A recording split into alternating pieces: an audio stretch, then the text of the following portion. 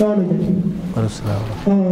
शेख ये आजकल में जो है हज और उम्र के लिए लोग आगे छः छः महीना साल भर पहले पैसे दे देते कुछ कम रकम में और उसके बाद साल भर के बाद वो लोग हज पे जाते हैं जो बड़ा अमाउंट का होता है। मिसाल के तौर पर अगर हज के लिए उन्होंने साल भर पहले दो लाख रुपया दिया वही हज का जो पैकेज का वैल्यू होता है चार लाख रुपया। और ये हज के जो टूर ऑपरेटर्स हैं वो लोग आगे पहले से मुतैन मतलब उनको फिक्स कर देते आपको ये चार लाख वाला पैकेज दो लाख रुपये में हम देंगे। और उसके साथ साथ वो लोग से जब पूछा जाता है आप इस अमाउंट का क्या करते हैं? वो लोग बिज़नेस में रोलिंग करते हैं रोलिंग करके मतलब प्रॉफिट तो तय करके सामने लोगों को बोले कि आपको बस ये पैकेज वाला उम्र मिलेगा। एक बात है ऐसा लोग करते हैं इसका क्या हुक्म। है? दुख तीरक पर आपने उंगली रखी है। व्हाट्सएप पे ये चीज़ बहुत आम हुई है और बकसरत लोगों ने इस चीज़ को जारी किया है।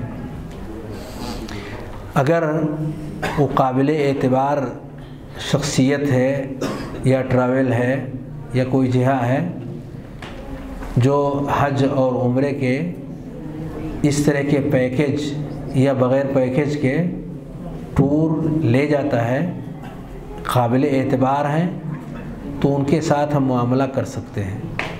कोई हरज की बात नहीं है। अगर कम पैसे में वो ले जाते हैं, तब भी हम जा सकते हैं। और ज़्यादा पैसे में अगर वो ले जाते हैं, तब भी हम जा सकते हैं। दोनों तरफ़ से अगर रजामंदी है, ले जाने वाले की तरफ़ से रजामंदी है, जाने वाले की तरफ़ से रजामंदी है दोनों तय कर लेते हैं सारी चीज़ों को।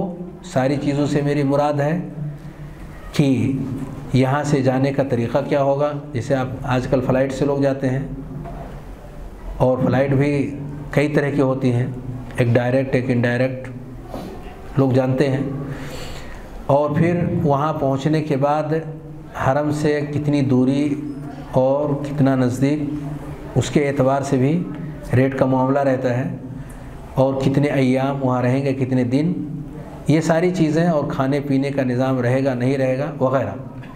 जो भी चीज़ें दोनों के दरमियान तय करनी हो, तय करने के बाद अगर पैसे पहले दे दिए जाते हैं और सामान बाद में मिलते हैं, या सामान पहले ले लिया जाता है, पैसे बाद में दिए जाते हैं, ये दोनों शक्लें इस्लाम ने जायज़ करार दी हैं। कर्ज़ दोनों शक्लों की चलती है। दोनों शक्लों की। पहले पैसे हो या पहले सामान हो, बाद में पैसे हो या बाद में सामान हो। दोनों चीज़ें इस्लाम में जायज़ और दुरुस्त हैं। इसी का नाम है बै सलम या बै सलफ़। बै सलम या बै सलफ़। ये दोनों शक्लें उसके अंदर दाखिल हैं। इन्होंने जो बताया है, मुस्तकबल में वो ऐसा करने वाले हैं और इतने रेट पर ऐसा करने वाले हैं और उसके फ़ला फ़ला ख़दमात होंगे। इसलिए नबी वसल्लम ने कहा फली सिर्फ़ फ़ी कैल मालूम वज़न मालूम इलाजल मालूम ये सब चीज़ें क्लियर होनी चाहिए, ताकि बाद में झगड़ा ना हो। क्या आपने इनडायरेक्ट फ़्लाइट क्यों लिया? आठ घंटे वहाँ बिठाए रखा। रास्ते में पड़े रहे, वहाँ खाना पानी नहीं, कुछ नहीं। सब परेशान रहे। आप हाजियों के साथ, उम्र करने वालों के साथ धोखा करते हैं। अब वहाँ आप एहतजाज करने लगे।